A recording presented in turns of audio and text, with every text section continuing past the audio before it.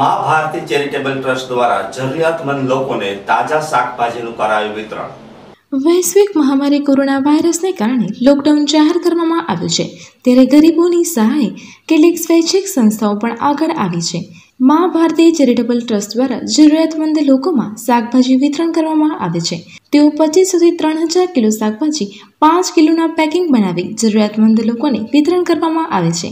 વધુમાં કોરોનાના કારણે સરકાર દ્વારા સોશિયલ ડિસ્ટન્સ જાળવવા પર ભાર મુકાયો હોય, સોશિયલ ડિસ્ટન્સ જાળવવા પર ભાર મુકાયો હોય તેનું પાલન કરી આ સેવા કાર્ય કરવામાં આવે છે.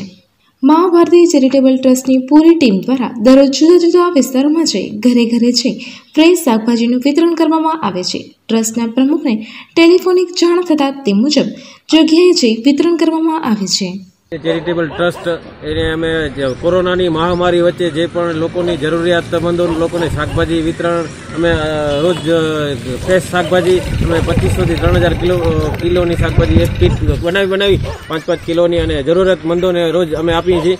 અને લોકો જરૂરિયાતમંદ છે, જેને ધંધાદારી અત્યારે કોરોનાની મહામારી વચ્ચે આપણા શ્રી નરેન્દ્ર મોદી સાહેબ વડાપ્રધાન શ્રી એ કીધેલું છે કે લોક ડિસ્ટન્સ રાખવું એટલે અમે ઘરે ઘરે ફ્રીમાં આ વિનામૂલ્યે વિતરણ કરી છીએ અમારા કાર્યકર્તા તથા અમારી આ ગાડી અને અમારો ટ્રસ્ટ શીખે અમે રોજે રોજ આવી ચારસોથી પાંચસો કીટો બનાવી અને જરૂરિયાતમંદ લોકોના જેવા જેવા ફોન આવે એવી રીતના અમે આપતા હોઈએ છીએ.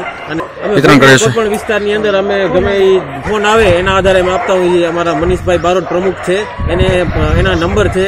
એ રીતના અમે એના પર એના ફોન આવે તો અમે જે પણ જરૂરિયાતમંદો લોકો છે કે આ પચીસ કીટ કે ત્રણ ત્રીસ કીટ કે પાંચ કીટ કે તો અમે આપતા હોઈએ છીએ. એના ઘરે જઈને પણ આપી દઈએ છીએ.